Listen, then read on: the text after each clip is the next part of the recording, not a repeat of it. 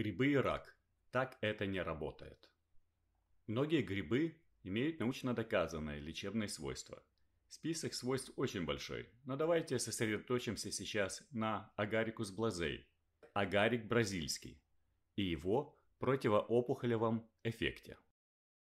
База медицинских исследований PubMed выдает сотни ссылок на научные работы по изучению лечебных свойств агарика бразильского – Доказательная база настолько обширна, что сомневаться в эффективности этого гриба невозможно. Агарик бразильский, как и многие другие грибы, используется в фунготерапии, то есть лечении грибами. И при всей массе доказательств онкологические врачи не рекомендуют фунготерапию. Почему? Мы можем назвать несколько причин. Всемирный заговор, деньги, врачи, и эффективность. Давайте обсудим вопрос эффективности применения фунготерапии для лечения онкологических заболеваний. Для этого нам понадобится немного иммунологии и микологии. Ключевым моментом в иммунологии является воспаление. Воспаление – это иммунный ответ организма на возбудитель. Вспомните, когда вы последний раз простудились. Сопли, температура, слабость. Что происходит? А это и есть процесс воспаления, то есть активизация вашей иммунной системы. Все клетки иммунной системы приходят в движение с целью обезвредить инфекцию. Здесь нам нужно запомнить два факта. Первый – вся иммунная система приходит в возбуждение. Второй – в анализе крови резко в несколько раз растет количество НК-клеток, клеток натуральных киллеров. Это при инфекции – при попадании бактерии в организм. А при чем тут грибы? Ныряем в микологию. Виноград сладкий на вкус. Там содержится глюкоза. Если соединить молекулы глюкозы в длинные цепочки, то получим полисахариды. К полисахаридам относятся крахмал, гликоген, целлюлоза, хитин и бета-глюкан. Бета-глюкан входит в состав оболочки бактерий, и в некоторые грибы. Агарикус блазей содержит много бета-глюкана, но его также много в других грибах – шиитаке, веселке и даже в плевротус астриатус. А это хорошо вам знакомые вешенки, которые продаются за копейки в каждом супермаркете. Именно бета-глюканы грибов вызывают иммунный ответ. При этом, так же как и при воспалении, НК-клетки в крови растут. Макрофаги активизируются, выработка лимфоцитов ускоряется, выделяется фактор некроза опухоли и другие провоспалительные цитокины. Иммунная система приходит в движение. Но как это объясняет воздействие грибов на раковые клетки? И почему исследования показывают феноменальную эффективность грибов при воздействии на мышей и отсутствие какой-либо эффективности у людей? Исследования всех новых лекарств сначала проводятся в пробирке, что называется инвитро, на латинском в стекле. Следующий этап исследований – инвиво, вживую, на животных. Такие исследования называются доклиническими. И только после тестов на эффективность и безопасность проводят клинические исследования на людях.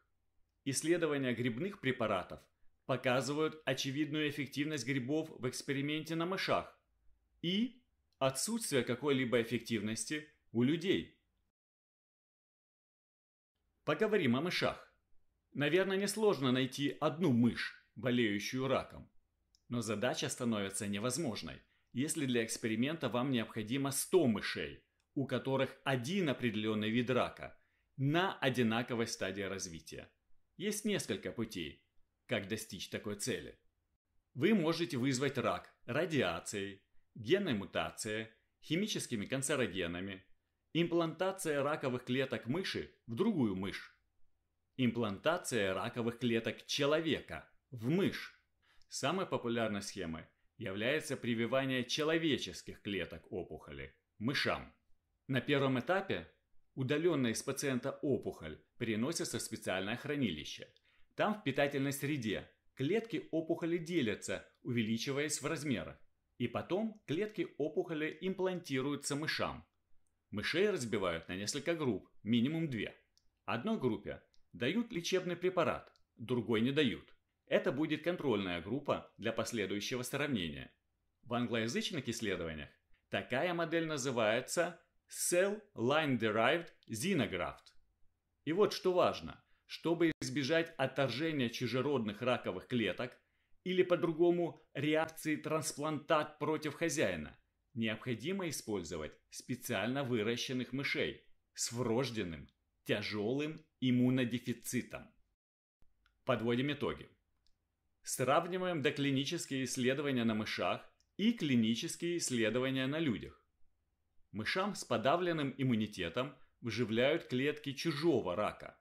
Напротив, у людей с нормальным иммунитетом возникают свои раковые клетки.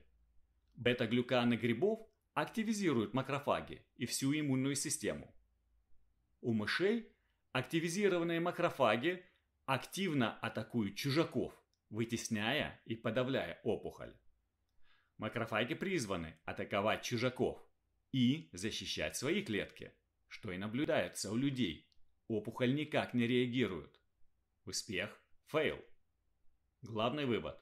Метод имплантирования человеческих раковых клеток мышам с иммунодефицитом не подходит для тестирования иммунологических препаратов, в том числе и для грибов. Хотя доклинические испытания грибных препаратов на мышах показывают высокую эффективность, клинические испытания показывают полное отсутствие эффекта. К сожалению. Проверим наши выводы на доступных исследованиях. Отберем для сравнения доклинические и клинические исследования гриба агарика бразильского противоопухолевый эффект. Очевидно, что доклинических исследований намного больше, чем клинических. Исследования препаратов с привлечением людей наиболее дорогой вид исследования. Рассмотрим как иллюстрацию доклиническое исследование, полный текст которого доступен в интернете. И наиболее масштабное клиническое исследование. В этом эксперименте приняло участие 100 человек. Чем больше участников, тем надежнее результаты. Исследования ВУ и другие. 2011 год. Тайвань. Прямо из названия мы получаем много информации. Смотрите, тестировали экстракт гриба агарик бразильский. Мышам прививали человеческие клетки колоректального рака. Использовались мыши с тяжелым комбинированным иммунодефицитом. Эксперимент проводился вживую инвиво. Вывод эксперимента. Оральный прием агарика бразильского, хотя не остановил рост опухоли, но по сравнению с контрольной группой опухоль росла заметно медленнее. Подавление роста опухоли зависело от дозы. Смотрите, если в контрольной группе, которая не принимала грипп, за 6 недель эксперимента умерло 5 мышей из 10, то в группе, принимавшей 1 четвертью мг, умерло 3 из 10, а в группах 4,5 мг и 45 мг не умерло ни одной мыши. Очевидный успех. Я просмотрел исследования не только агарика бразильского – но и шиитаки, веселки, чаги, кардицепса, трутовика, рейши. Все эти эксперименты проведены по одной схеме. Тестировали экстракт какого-либо гриба. Мышам прививали человеческие клетки определенного вида рака. Ключевые слова тут. Implanted, xenograph, xenotransplanted. Использовались мыши с тяжелым иммунодефицитом. Ключевые слова. Nude mouse, NOG mouse, NSG Mouse. Я не встречал ни одного испытания препаратов грибов на мышах с полным иммунитетом. Возможно, у вас есть информация про такие эксперименты. Напишите мне про них в комментариях, и я сделаю их анализ в отдельном видео. Теперь рассмотрим клинические испытания грибных препаратов на людях. Работа Ан и других. 2004 год. Южная Корея. 100 пациентов с раком проходят химиотерапию. Исследование проводилось как двойное слепое, плацебо-контролируемое. Золотой стандарт доказательной медицины. 39 участников получают экстракт агарика бразильского. 61 участник получает плацебо. Никакой информации о влиянии экстракта на саму опухоль в работе нет, к сожалению. В результатах отмечено, что активность натуральных киллеров увеличилась, но мы-то знаем, что активность натуральных киллеров увеличивается при любом воспалении, хотя бы простуде, или при приеме иммуностимуляторов. Значительно улучшилось качество жизни пациентов. Наибольший эффект экстракт агарика показал в таких показателях. Улучшает аппетит, уменьшает депрессию, уменьшает тошноту, улучшает сон, повышает психическую устойчивость, уменьшает тревожность. То есть в этой работе нет никакой информации, что грибы лечат рак. Но зато они действительно улучшают самочувствие, что тоже немало. Химиотерапия имеет множество неприятных побочных эффектов. Рассмотрим еще одно клиническое исследование – экстракта агарика бразильского с участием пациентов с множественной миеломой, проходящих курс химиотерапии с высокими дозами. Двойное слепое исследование. 2015 год. Норвегия. 40 пациентов были разделены на две группы. Одна получала экстракт агарика, вторая плацебо в течение 7 недель. Состояние пациентов потом отслеживалось на протяжении 5 лет. Отслеживалось несколько десятков показателей. Некоторые показатели иммунитета действительно отличались у группы, принимающей агарик. Но как это повлияло на главный показатель любого лечения – выживаемость? Вот данные по выживаемости пациентов на протяжении 5 лет. В выводах авторы пишут. Мы не обнаружили никакого клинического влияния экстракта агарика. Никакого клинического влияния. Подведем итог. Первый этап – исследования в пробирке, инвитро. Раковые клетки помещают в питательный субстрат, в некоторые пробирки добавляют препарат. О, тут что-то есть. На втором этапе начинают доклинические исследования на мышах. Но мыши с подавленной иммунной системой представляют собой тот же питательный субстрат для человеческих раковых клеток. После добавления иммуностимулятора, экстракта грибов, субстрат становится агрессивным к имплантированным чужим клеткам. Рост опухоли действительно подавляется. Третий этап – клинические исследования. Иммунная система пациента не видит рак, поэтому ее возбуждение грибными препаратами не приводит к результату. Я не говорю, что грибы бесполезны. Их иммуностимулирующие свойства хорошо изучены, но, к большому сожалению, грибы не лечат рак. Наберите в поиске рейши, чага, агарик, шиитаки, веселка. Вы будете удивлены количеству предложений на любой вкус и кошелек.